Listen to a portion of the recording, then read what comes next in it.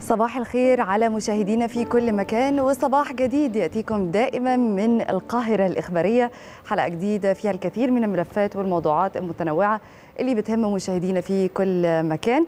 ولكن في البداية أقول صباح الخير لزميلاتي منى وشيرين وفادي. صباح أهلا الخير صباح. الخير عليكم. وأنا كمان بصبح عليكم على جميع مشاهدي صباح جديد. صباح الخير شروق. صباح النور. طيب خلينا نقول إنه آه، يعني من بداية برنامج صباح جديد الحقيقة قبل ما يزيد عن سنتين تقريبا ولينا اهتمام خاص بالدور الثقافي والدور التوعوي اللي بيمثله أو اللي بتمثله السينما في تجسيد قضايا العالم العربي.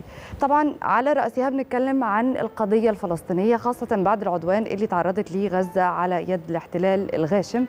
ومشاهد الدمار اللي إحنا بنشوفها والقتل آه، اللي آه، طالت عشرات الآلاف من الأرواح الحقيقة البريئة. وهنا بيجي دور الفن في التوعية وكمان في توثيق هذه المعاناة اللي إحنا بنشوفها ببشاعة وبننقلها أو بينقلها للعالم بصورتها المجردة. وهو ما استطاع مشروع من آه، المسافة صفر إنه يقدمه بإبداع وبرؤيه سينمائيين كمان من غزة وده حصل من خلال 22 فيلم قصير بتوثقه أو بيوثق كل الأحداث اللي إحنا بنشوفها على شاشات التلفزيون. وخلينا نقول إنه ده من إخراج مبدعين فلسطينيين وعلى رأسهم الفلسطيني رشيد مشهراوي.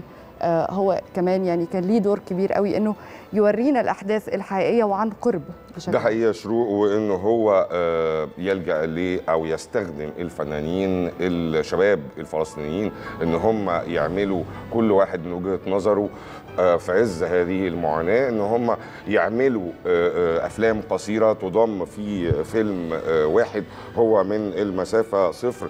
ده بيشكل صوت هو صوت وصورة الشعب الفلسطيني تحت الحصار والقصف لأنه الفن السابع آه، بيروي قصص آه، كل الناس وطبيعي إنه نتكلم عن ال- القصص المعاناة اليومية من خوف وبحث عن النجاه والحياة من خلال التوثيق. وطبعا النهارده افتتاح مهرجان القاهرة السينمائي وكمان المخرج الكبير رشيد مشهراوي هيتعرض له فيلم أحلام عابرة النهارده في عرض آه، عالمي أول ضمن آه، جدول عروض مهرجان القاهرة السينمائي. طبعا إلى جانب آه، مشروع المسافة صفر وهذه الدورة طبعا استثنائية من مهرجان القاهرة وبتحتفي بالسينما الفلسطينية وإبداعها.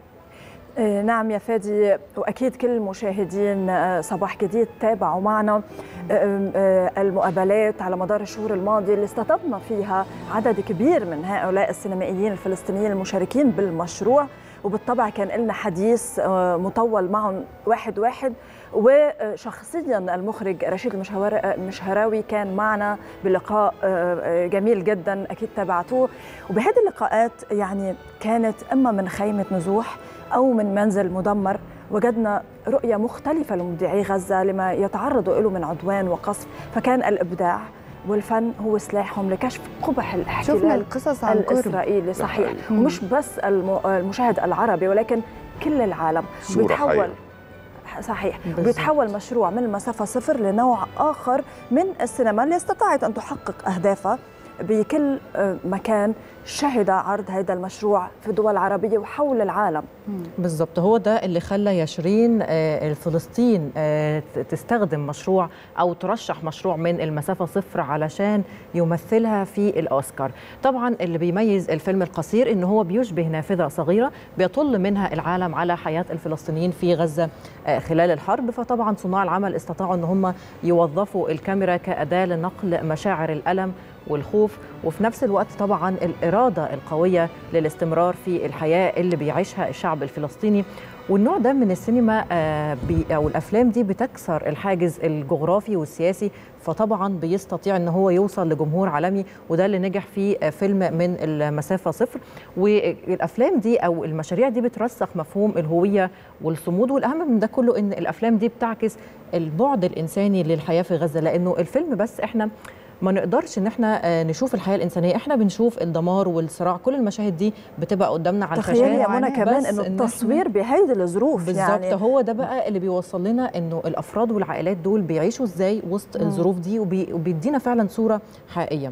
والنهارده بينطلق مهرجان القاهرة السينمائي الدولي في نسخته الخامسة والأربعين وبيسلط الضوء على السينما الفلسطينية بالتحديد ومشروع من المسافة صفر. والنهارده هيكون لنا لقاء مهم جدا مع أحد صناع هذا المشروع السينمائي شديد الأهمية. ابقوا معنا هيكون معنا فقرات متنوعة في صباح جديد.